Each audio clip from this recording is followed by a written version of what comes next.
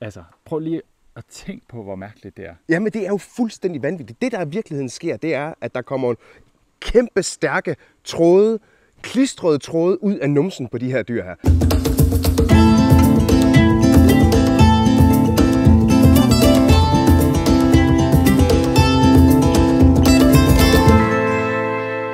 Hej altså. Hej Brian. Vi står lige her ved siden af vores hus. Ja, der er frokost lige om lidt. Ja. Og vi har fundet et af mine absolute yndlingsdyr. Jamen, det er simpelthen også et møgfedt dyr.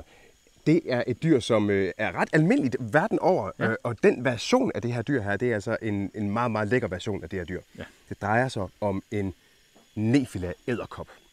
Æderkopper kender vi jo rigtig godt derhjemmefra. Det gør vi. Og æderkopper er jo sindssygt seje ja. rovdyr. Fuldstændig fantastiske rovdyr, som har udviklet nogle helt fantastiske metoder til at få sig noget at spise. Og en af de metoder, som de er allermest kendt for, det er sådan set fuldstændig samme her i troberne, som det er hjemme i Danmark. Det handler netop, netop ah, bortset fra, at det er lidt større, ja. som der er med mange ting. Øhm, men ellers er det fuldstændig det samme. Det, de gør, de her æderkopper her, det er altså, at de er i stand til at lave de her kæmpe, kæmpe store æderkoppespind. Ligesom vi kender fra korsæderkopperne derhjemme.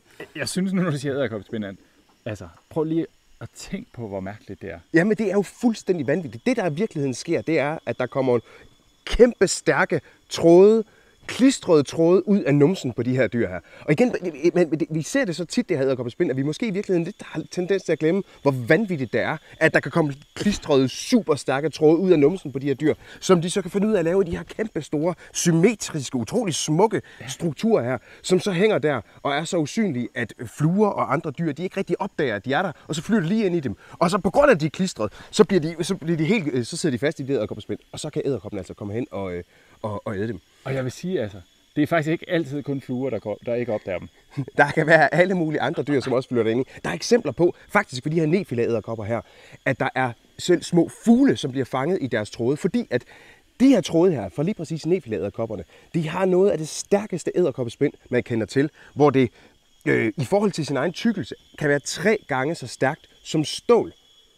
Så det, Det er jo de, de, de kan altså trække klistret ståltråd ud af numsen. Som er stærkere end stål. Tre gange. Tre gange stærkere. det, er, altså, det er fuldstændig vanvittigt. og så kan vi lige, fordi så kan du lige pege på det. Ja, fordi der sidder nemlig en af de her æderkopper øh, lige her, og den er altså u... Prøv lige at se det her mønster der også. Og den hænger jo egentlig bare der og, og venter på, at der skulle komme øh, et eller andet dyr og flyve ind i, des, øh, i spindet, sådan at den kan øh, kravle hen til det. Så bider den typisk, æderkopper er jo typisk giftige, og så har de, bruger de den her gift for at kunne lamme byttet, og sådan det ikke slipper væk igen. Og så kan de pakke det ind igen med det her æderkoppespind her, sådan at maden forbliver frisk, indtil de er klar til at, at spise den. Det er altså ret fantastisk. Altså, altså, jeg er... Jamen, æderkopper er Jeg fantastiske. Næste gang, at du nu ser en æderkopper, uanset om den sidder udenfor i din i en busk, eller om den sidder oppe i hjørnet i dit hus, så i stedet for at sige, Åh, så prøv lige at tænke på, hvor fantastisk en organisme det rent faktisk er. Og så spiser de myg. Og så spiser de, spiser de myg. Myg er også spændende, Brian. Ja, ja, men de Men klør. de klør, det er Ja. rigtigt. Nå, det var det for i dag. Hej, hej. Hej.